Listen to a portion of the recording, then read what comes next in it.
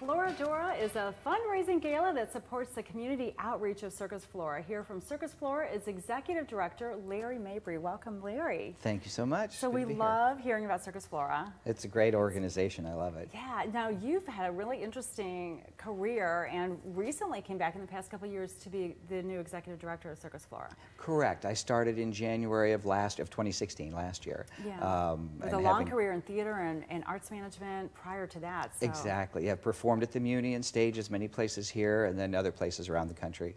But moved more into arts management uh, 10 years ago or so, and uh, have really enjoyed that that aspect of the career, moving off of the stage to behind the scenes. So how is how was it coming to Circus Flora, and how is that different or more exciting or than well, what it's you've been doing? theater. Yeah. It's but it's theatrical circus. I call it theater on steroids. So it really is. I mean, uh, bigger than most theaters. It's a 1,200 seat big top. You have to build your theater before you do a show. Um, So that that alone is is one exciting aspect. And then you're working with performers that do things that you only dream of or can imagine. It's that taking taking what the human being can possibly do and taking it up a notch or two or three or four. It's which most people can't do. So that's They really the can't. glory of it is you see things that the human body shouldn't be able to do.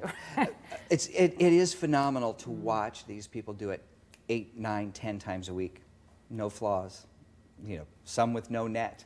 You know, the Walendas with no net. It's pretty amazing. Yeah. I, I, I'm, I'm constantly amazed. Some things I can't watch. really? It makes me a little nervous, some of Yeah. them. Yeah. I don't leave the tent. I, we have people who actually, I can't be in the tent when they're doing that, but we, we enjoy it. It's a lot of Yeah, fun. so it's fun. And so since you've been there, and I know over the past several years, I mean, the Circus Flora is always changing, always growing and being enhanced. What has changed since you've come on board, and what can we anticipate for next summer? Ah, well, uh, a few years ago, of course, we know our founder passed, David Balding, um, and you know, so what with with his energy and passion fueling this organization for so long, what does it become?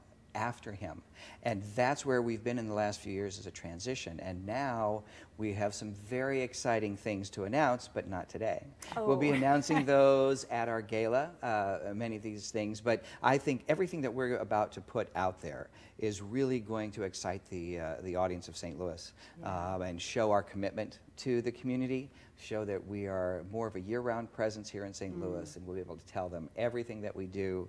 Um, and we have some long-range plans for the organization. Well, and we certainly want to make sure that St. Louis is always a part of those long-range plans. So you can assure us of that, right? yes, we'll assure you of that. Okay. That's, that's a part of the big announcement. So. Yeah. Okay. So the gala is Sure. something that um, is open to anyone. open to anyone. We still have tickets available, um, and tickets are $250. It is a fundraiser to support the outreach programs and special performances that we do throughout the season.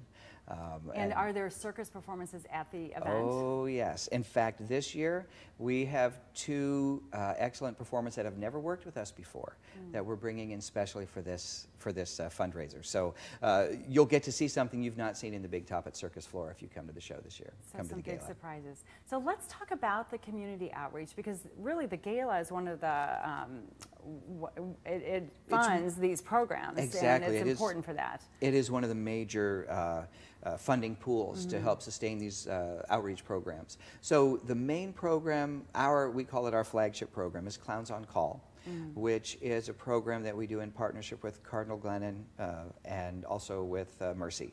Uh, but Cardinal Glennon is our, our major partner in Mm-hmm. this, and we are very honored to have been there for over five years, served over 5,000 patients and families. Yeah. Um, as we know, people going through very difficult times with children who are in the hospital. And it just, it gives them that moment of break, that moment of respite. And the children, when, when you are in there and you watch them react to the, the clowns who are going in and working with them, it, it rips your heart out in a good way. you know, Yeah, to see absolutely. that, that potential is, is to bring a bit of joy to a child's day, which isn't easy when they're in the hospital. Right. That's that must be really wonderful to watch. It makes some of them even feel forgetting that they're taking medicine. Absolutely. They actually might even take their medicine with, you know, with the There you go. take Well, them a break. Oh, that's so, sweet. We're going to take a quick break, Sure. Larry. We're going to come back. We're going to talk a lot more about Circus Flora and Floradora, the big event. So stay with us at STL Live. We'll be back after this break.